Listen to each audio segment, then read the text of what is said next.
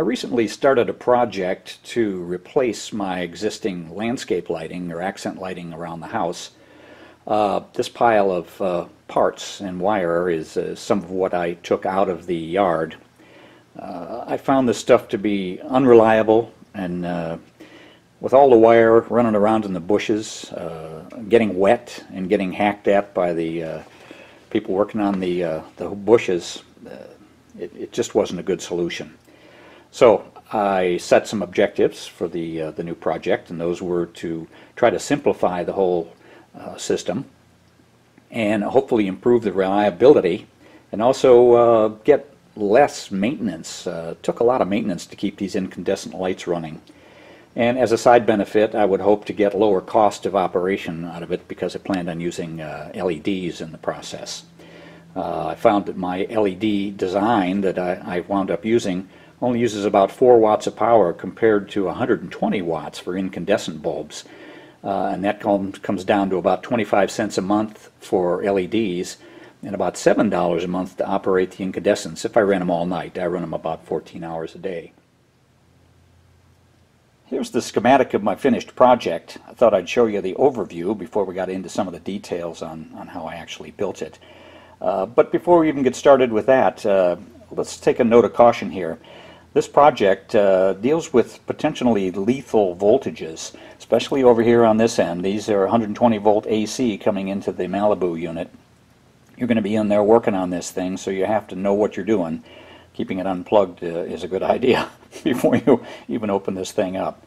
So be careful, because uh, these things are lethal if, uh, if you don't know what you're doing. At any rate, this is a look at a. Uh, I had a Malibu uh, system, a Malibu low voltage transformer.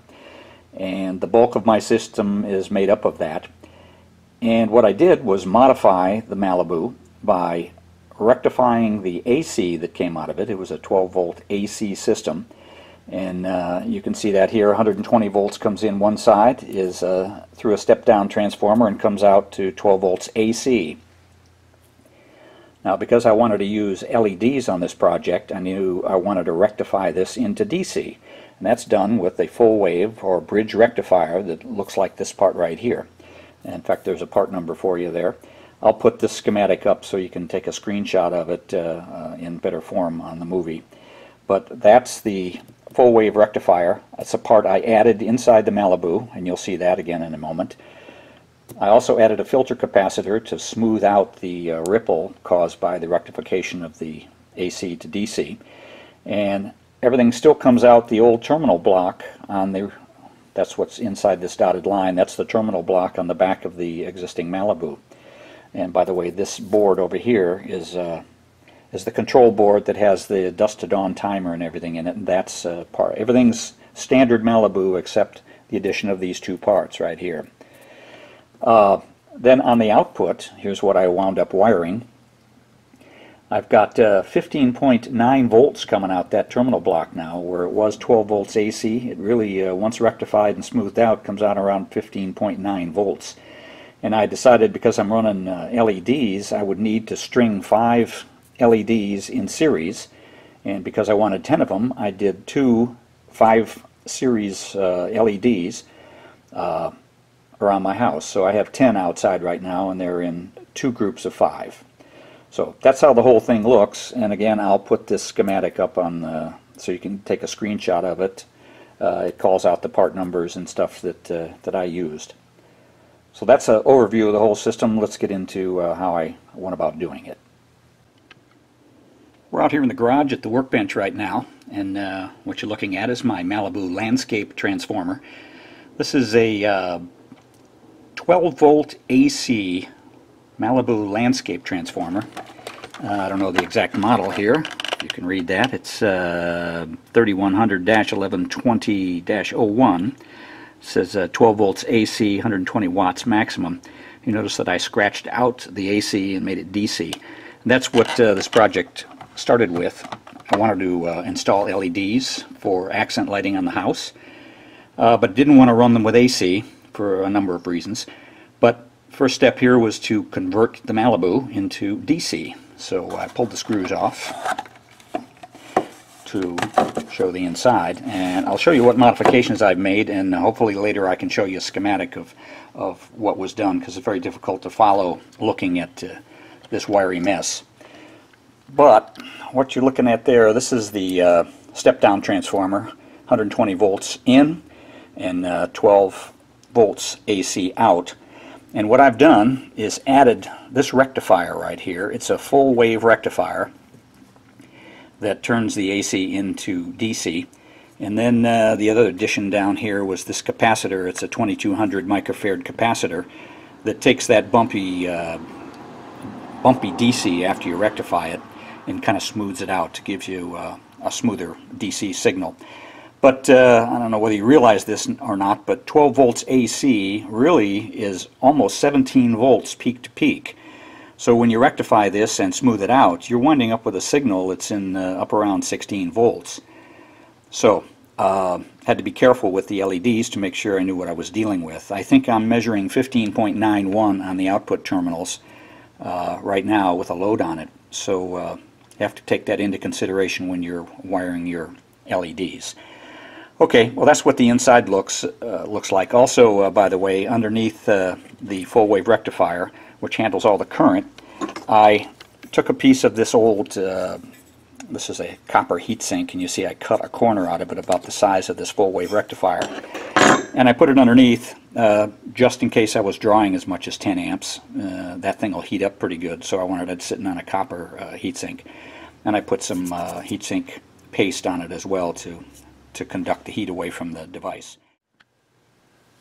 We're at the workbench again and I wanted to show you the uh, LEDs that I selected for this project.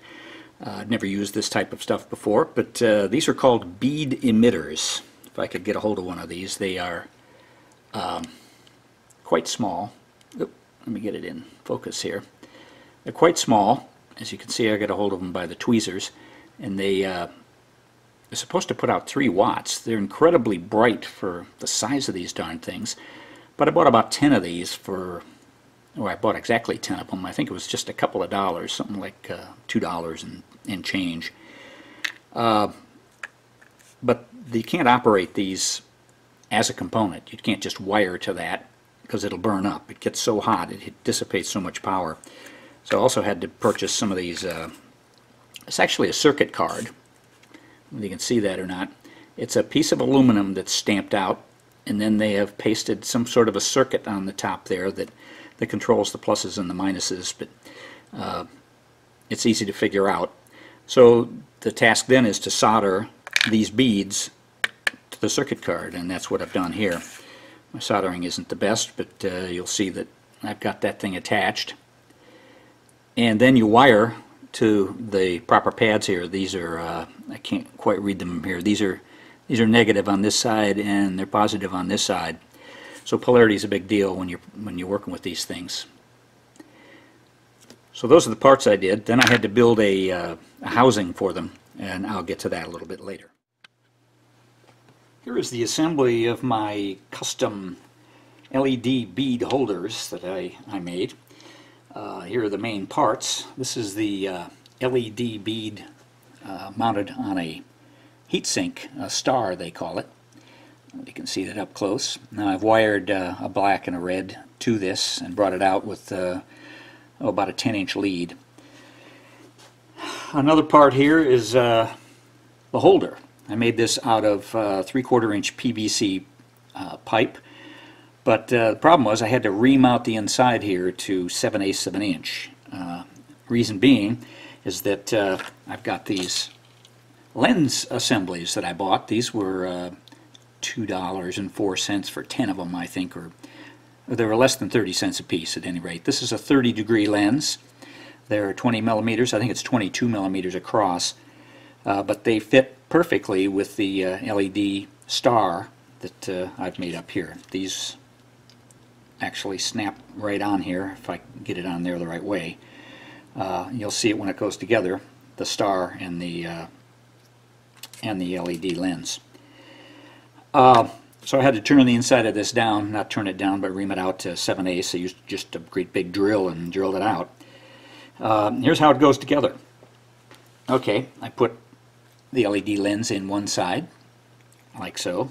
And in the other side goes the star. And then on the back of this, I needed something to hold it onto my uh, the, the roof line of my house.